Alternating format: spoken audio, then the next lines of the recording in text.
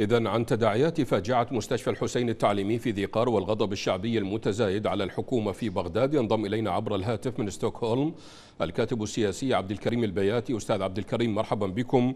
يعني لنبدأ من بيان مركز توثيق الجرائم.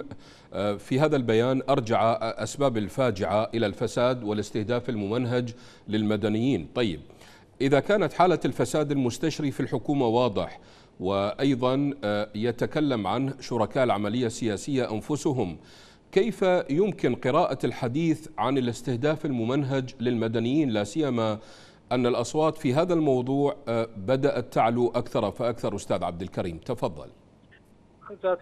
أخي العزيز في كل أطر بناء الدول الحديثه تكون الحكومة مسؤولة بكافة أجهزتها مهمة حماية أمن المجتمع من تهديدات الخارجية عن القانون نعم. لكن ما نراه الآن في العراق أصبح ساحة حرب مفتوحة في استهداف أبنائه فأخذت الأحزاب وميليشياتها اللعب بحياته ومعيشة المواطن العراقي البسيط.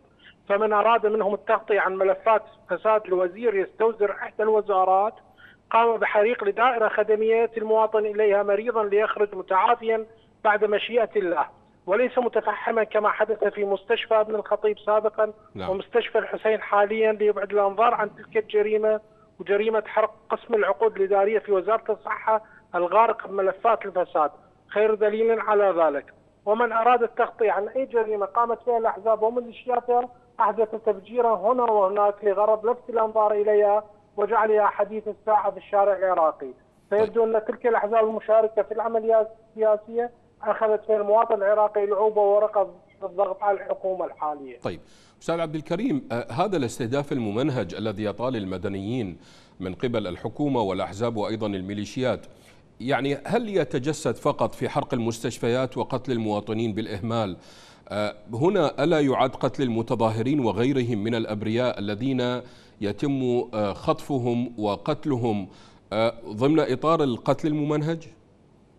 أخي العزيز كل عمليات الخطف والقتل والتعذيب التي حدثت سابقا ولا زالت تحدث حتى الآن هي من ضمن عمليات الاستهداف الممنهج من قبل الحكومة وميليشياتها، فالحكومة مشتركة بهذا الفعل بصمتها عمن يقوم بهذه الجرائم والتغاضي عنه وعدم المحاسبة السريعة بمن يقوم بهذه الجرائم من الميليشيات وعناصرها المنتمين لها، وبالإضافة إلى ذلك الاستهداف الممنهج من قبل الحكومة في عمليات التهجير والتغيير الديمغرافي الحاصل في في المحافظات المحررة وحزام بغداد التي عانت إلى مرين وبالرغم من تقارير المنظمات الدوليه التي تدين الحكومة العراقية في تعاملها مع المواطن العراقي لكن يوجد هنالك صمت دولي تجاه ما يحدث من جرائم متكرره في الداخل العراقي. طيب أستاذ عبد الكريم ردا على الفاجعة وتعاطي الحكومة المخجل مع هذه الفاجعة كما تعرفون خرجت تظاهرات في عدد من المحافظات والمدن تردد آه، هتافات آه، كهتافات تشرين وغيرها في شباط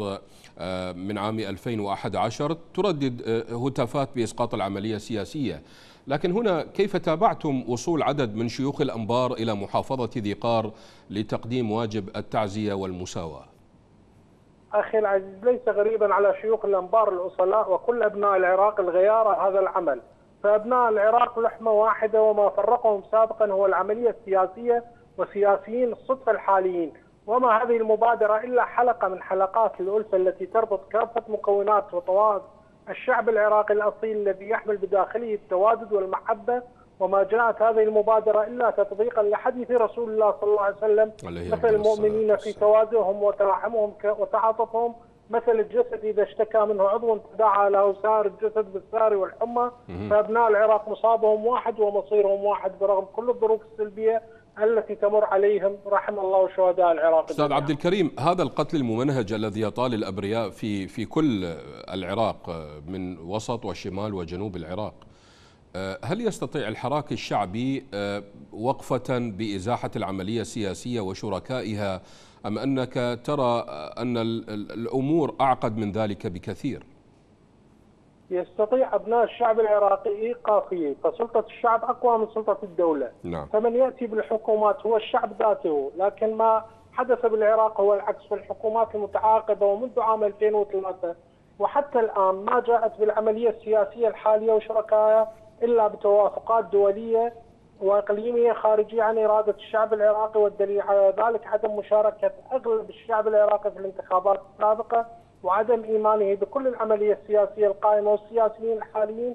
لذلك أن تم عزل قرار الدول الاقليميه عن قرار الحراك الشعبي. فسوف تزاح كل تلك الوجوه الحاقدة على العراق وابنائه الوصلاء ويسترد العراق عافيته ودوره الحضاري والإقليمي في المنطقة والعالم. من ستوكهولم الكاتب السياسي عبد الكريم البياتي شكرا جزيلا لكم.